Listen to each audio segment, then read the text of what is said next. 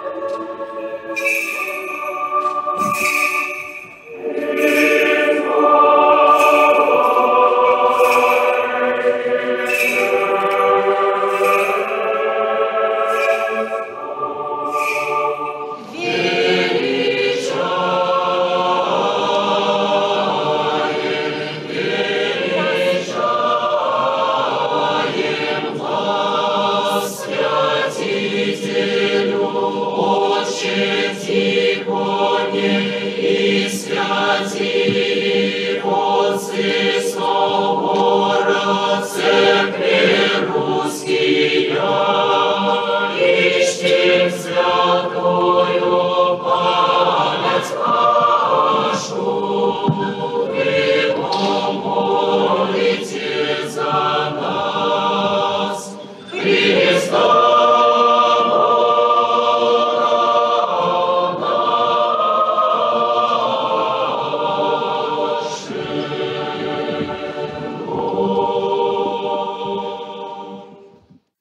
Имя Отца и Сына и Святаго Духа. Сегодня мы слышали евангельское чтение о двух событиях, которые связаны с проявлением одних и тех же человеческих чувств. Это воскрешение э, дочери Аира, начальника синагоги, исцеление кровоточивой женщины.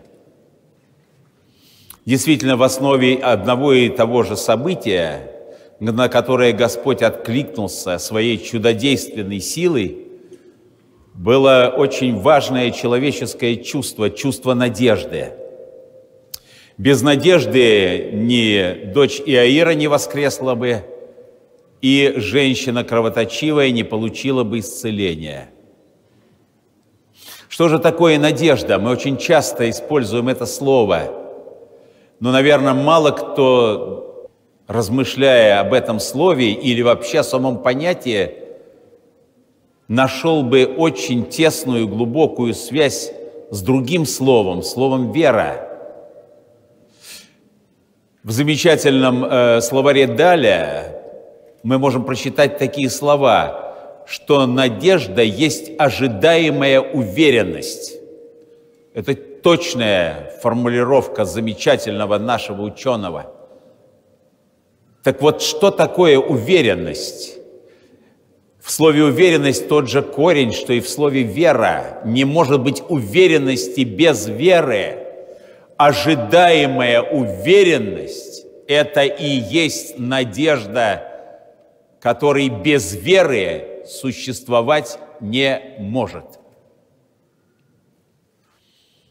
И всякий раз, когда человек сознательно или бессознательно употребляет это слово, он использует слово, которое теряет всякий смысл вне религиозного контекста, потому что без веры в Бога не может быть надежды. А что может быть? А может быть мечта. Открываем словарь Бдаля. А что такое мечта? Четкое определение. игра воображения.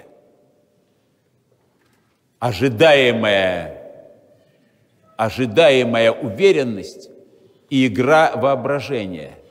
Каждый может понять, сколь далеки по смыслу эти понятия. Действительно, в нашей уверенности, в нашей надежде всегда присутствует вера. И как замечательно сказал святитель Иоанн Златоуст, что не приткнется тот, кто надеется на Бога. Да, действительно, человек не приткнется, если он жизнь свою веряет в руки Божие, если надежда его оплодотворяется верой – если он живет в союзе с Богом, тогда у него вырастают крылья, он становится действительно сильным и способным на многие, в том числе и великие поступки. Сегодняшние евангельские чтения еще и еще раз свидетельствуют нам о том, насколько Бог близок к человеку – насколько Господь милосерд. Потрудился Спаситель идти в дом начальника синагоги, чтобы воскресить его дочь. Не оградил эту несчастную женщину, припавшую к его одеждам, от воздействия своей чудотворной благодатной силы, но излил на нее свою благодать на той, которая в толпе прикоснулась к нему, возлагая на него последнюю надежду. Надежда не посрамляет тогда, когда она реально связана с верой. И вот современным людям, которые любят использовать это слово, говоря «я надеюсь», нужно ясно понять – что без Бога и без веры не существует надежды, а существует мечта, игра воображения. И как же обеднеет наша жизнь, как обеднеют межличностные человеческие отношения, если из этих отношений уйдет надежда. Как нередко говорят, надежда умирает последней. И это действительно так, потому что она связана с верой в Бога. Мы сегодня с вами, конечно, вспоминаем святителя Тихона, патриарха Всероссийского, с которым так связано это место и по истории, и по настоящему времени. В честь него назван наш прославленный университет, который так много сделал и делает для просвещения народа нашего, для воспитания православной интеллигенции, для подготовки кадров, как работающих в церкви, так и на светских работах. С патриархом Тихоном связаны все эти стены – Можем мы себе представить подвиг патриарха Тихона, если бы он утратил надежду? Можно ли бы вообще представить себе подвиг наших новомучеников, исповедников, тех, которых расстреливали в Бутово, тех, кого заточали в Соловках и в других местах, тех, которых допрашивали, убивали не публично – которые представить себе не могли, что их смерть, их мучения станут известны миру, что они прославятся перед миром, ведь тогда весь мир был для них ограничен этой камерой пыток или комнатой допросов. Другого мира не было. Но у всех у них была надежда на Бога. Может быть, Господь не оправдал их надежду на то, что вот случится чудо, они выйдут из этих э, камер и снова вернутся к жизни. Но Господь ему уготовил нечто другое. Их надежда в полной мере осуществилась, потому что их смерть стало семенем для современного христианства, в том числе и в нашей стране. Потому что невозможно быть безразличным к подвигу новомучеников, исповедников церкви нашей. Невозможно не задумываться о силе их духа, о силе их веры, о той победе, которую они в истории совершили над своими гонителями и мучителями. Поэтому празднование памяти святителя Тихона, память празднования новомучеников, исповедников церкви русской, это, конечно, прославление надежды, которой они жили и которой они через свой подвиг заповедали всем нам. Надежда умирает последней, а у христианина она никогда не умирает потому что она переходит в жизнь вечную.